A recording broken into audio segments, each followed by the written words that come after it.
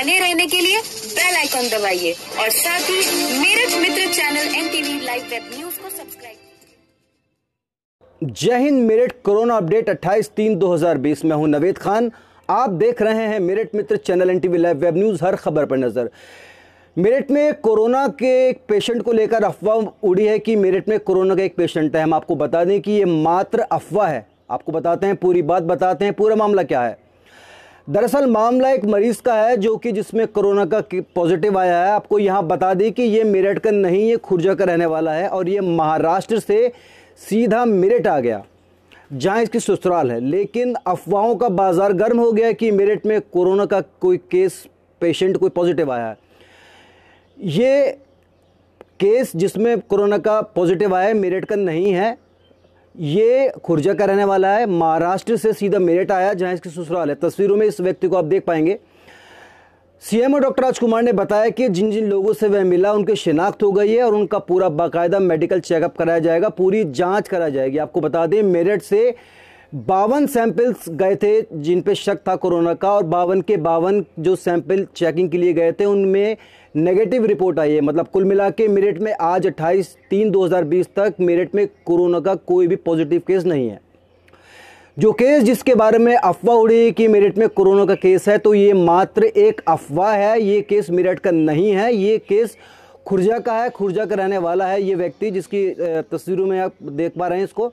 ये महाराष्ट्र से सीधा मेरठ आ गया और खांसी बुखार को लेकर मेडिकल कॉलेज में एडमिट हुआ, जहाँ इसकी जाँच हुई और उसमें कोरोना पॉजिटिव आया। ये केस मेरठ का नहीं है, फिर बता दें आपको, मेरठ में कोई केस कोरोना का पॉजिटिव नहीं आया है।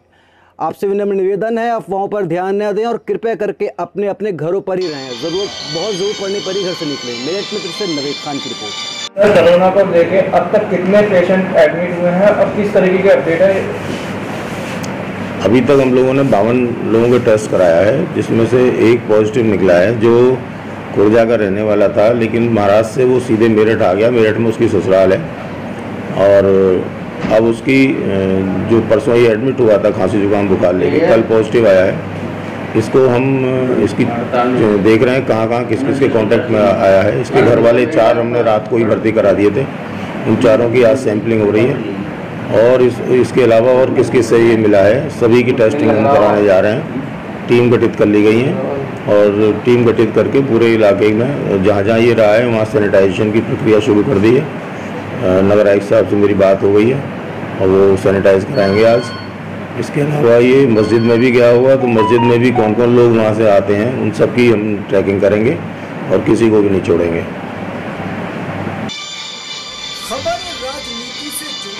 या मुद्दा हो आम जनता का, खबर क्राइम की हो या खबर हो आपके शहर की, आपके प्रदेश की, या फिर आपके देश की, या फिर बात हो एंटरटेनमेंट की, हम उठाएँगे आपकी समस्याओं को आपकी आवाज़ बनकर।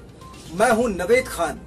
खबरों में अपडेट रहने के लिए Meerut Mitra channel N TV live web news को सब्सक्राइब कीजिए और पढ़ते रहिए समाचार पत्र मेरठ मित्र।